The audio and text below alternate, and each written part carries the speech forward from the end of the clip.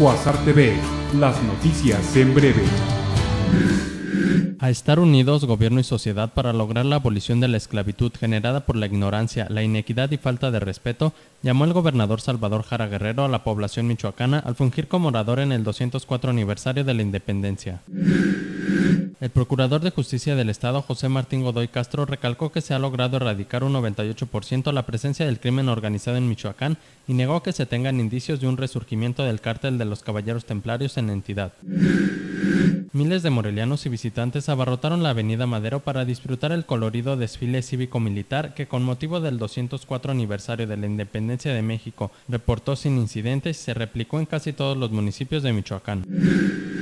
El cuerpo sin vida de Isaac Solórzano Treviño, de 22 años de edad, fue localizado en el interior de la cajuela de un vehículo deportivo que fue incendiado por sujetos desconocidos en la privada de Lima, esquina con Avenida Juan Pablo II, en el fraccionamiento Villas del Paraíso cerca de Altozano.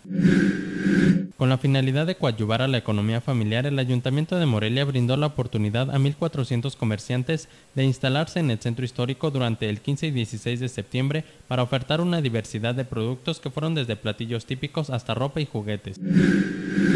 Luego de que su cuerpo no reaccionara favorablemente al tratamiento que fue sometida para tratar las heridas que sufrió durante el atentado del 15 de septiembre de 2008, a María de Jesús Vázquez Silva le fue amputada su extremidad inferior izquierda el pasado mes de abril, por lo que solicita al gobierno del estado le amplíe la pensión vitalicia de 1.700 pesos quincenales que actualmente recibe, ya que esta cantidad apenas le permite sobrevivir ante el impedimento de regresar a su trabajo como enfermera.